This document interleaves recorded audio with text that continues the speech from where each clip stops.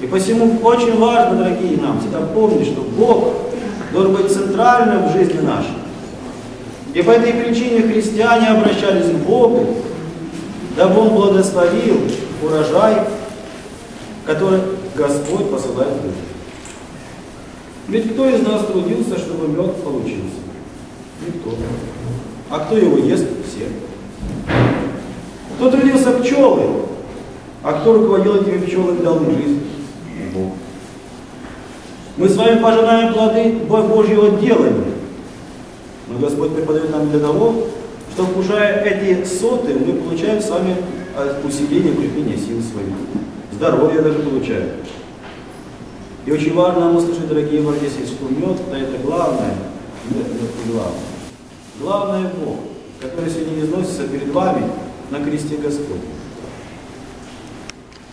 На кресте Господнем лежит Господь перед вами. А вы где?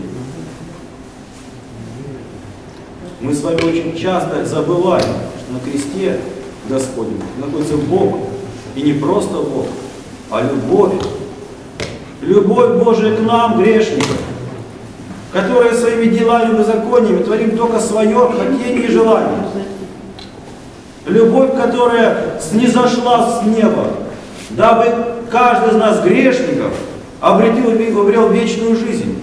Любовь, которая потерпела тяготы жизни, которые мы с вами испытываем. Подумайте, зачем Творцу Вселенной эта тягота?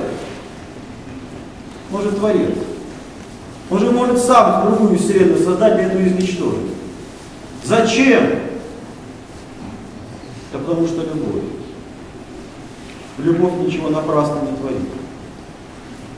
Любовь изливается на своих чад, которые непослушны и безобразны, потерявшие всякое достоинство. И это наши дети, которые бывают порой непослушные такие же. Но мы их все равно любим.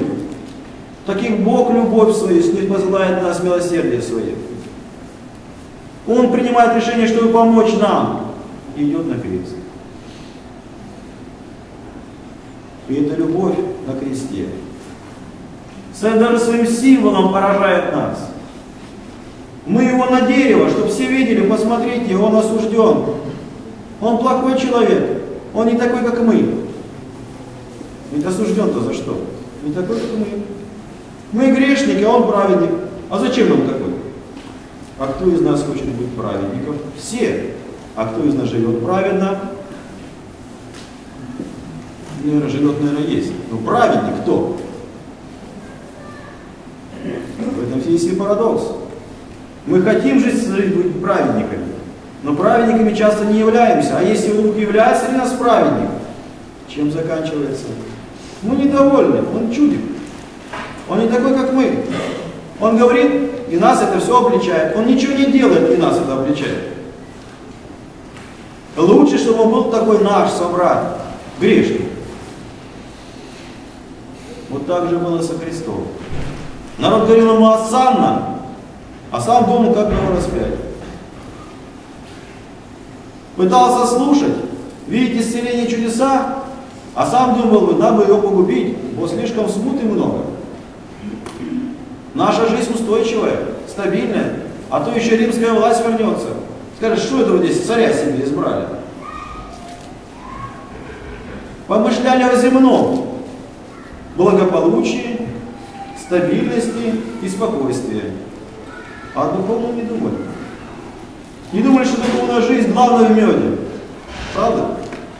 И какой же главный праздник? Яблоч, яблочный спас, медовый спас. Потому что надо в дне побольше мака. Почему мака, никто не знает. Ну надо, потому что все освещают. А что с этим маком потом делать? Ну, с медом-то понятно, а с маком что делать? Пирожки, что ли, печь? Странная логика. Да ее нет просто. Но мак принести надо. Ведь для нас главное это что действо, а не содержание. А содержание у нас совершенно другое все. Маг, потому что мученики маковейские. Никакого отношения к маку они не имеют. Но мученики-то за что? Ветхозаветные мученики, ветхозаветные дохристианские, которые за веру свою истинную пострадали. Как страдали? На глазах у своей матери. Антиох Эпифан для того, чтобы соблазнить их, и мать соблазнить. Он что сказал? А давайте будем мучить на глазах у матери. Мать же любит. Согласятся. Мать сама их уговорит, ее конец. Она же хочет жить своим детям, правда? Как мудро подумал правитель, правда? Как мы сейчас с вами точно так же рассуждаем. Детям все самое лучшее, все самое хорошее. Чтобы они всю жизнь жили. На самом деле, что мы хотим детям? А там мать оказалась другая. Она сказала, детки, терпите до последнего.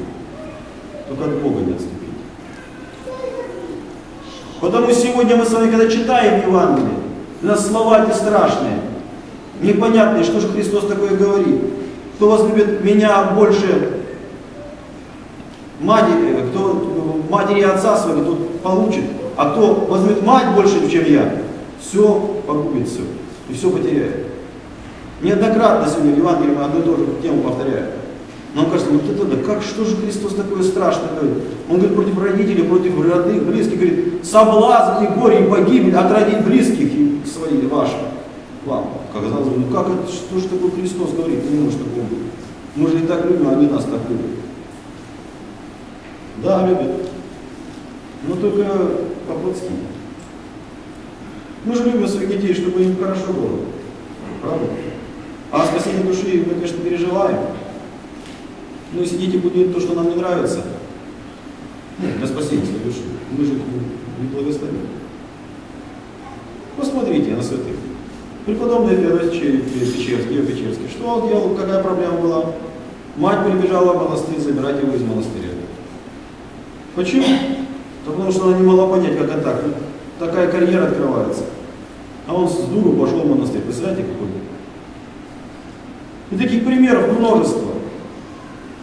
Родители в прямом смысле препятствуют духовному росту своих детей. Почему? Потому что смотрят они на плоть и кровь, а не на душу. Если бы на душу смотрели бы, то, наверное, когда воспитывали, бы где-то вкладывали другое. Мы тогда, когда воспитываем, что хотим? Чтобы одеть было красиво, чтобы нас не осудил никто на улице. Чтобы образование получили. А чтобы душа была у него чистая и правильная. Мы об этом думаем, конечно, прилагаем мало усилий.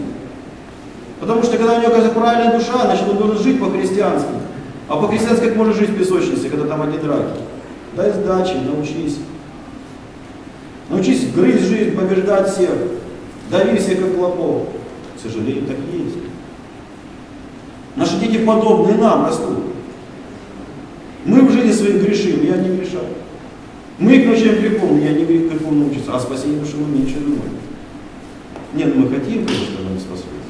Мы очень этого хотим. Мы этом думаем, но так как сами свою душу не спасаем, то и не знаем, как научить детей своих.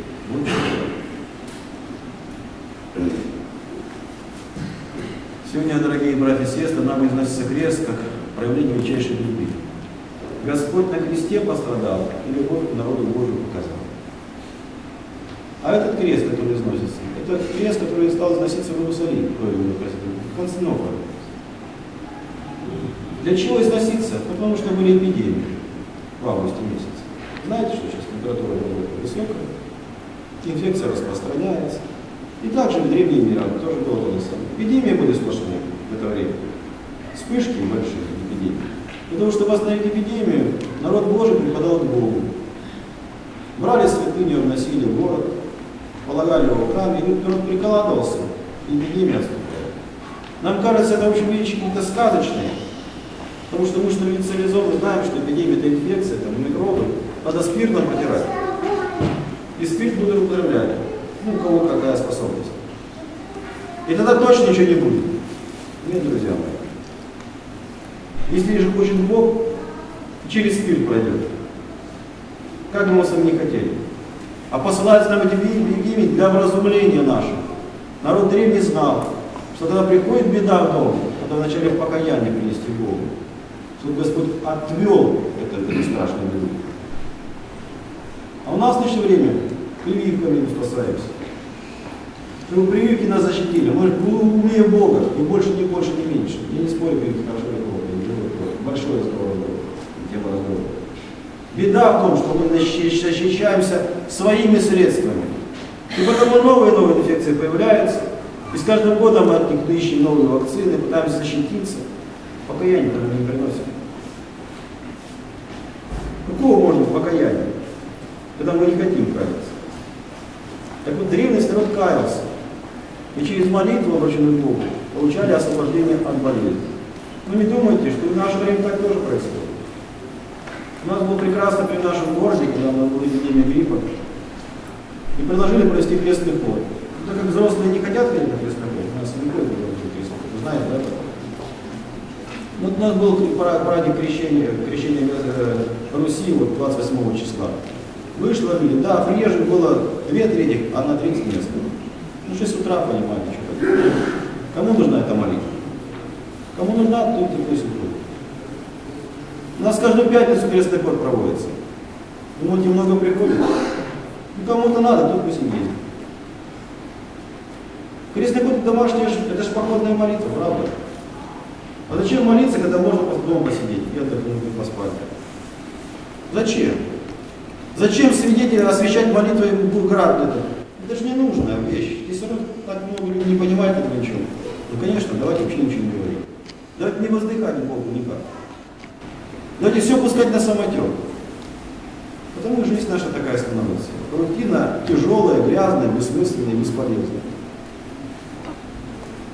Так вот, у нас был такой крестный ход против гриппа. И пошли на него дети. Дети пошли, маленькие. Детский крестный ход. Каникулы зимние. Потому что другого времени не было. Ну, как дети много пройти не могут, им по кусочку дали. В этот день по кусочек один пройдете, следующий другой пройдете. Прибежали врачи, начали кричать, нельзя, вы что, собираться гриппом? Я говорю, как же не собираться, на улице. Это же свежий воздух. Написано профилактика борьбы с гриппом, прогулка на свежем воздухе. А если с молитвой, так это вообще хорошо. Самое интересное, дети прошли, грипп прошел. Можно сказать, что случайность.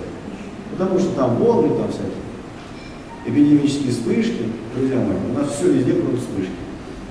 Веры у нас нет, потому и вспышки. Так вот сегодня крест нам выносится, а мы мед видим. Мы за мед там толкаемся. Ну как же, мы баночку-то заберем? Представляете, какая страшная перегрев? Я-то баночку купила, а ее кто-то заберет. Да слава Богу, уже заберет, слушайте. Это же милость не ваша, это же радость должна быть какая, что вы баночку забрали. Чего же так трясетесь за нее? Ничего, что спиной к кресту. Крест подождет, может там лежать будет. Главное мед забрать.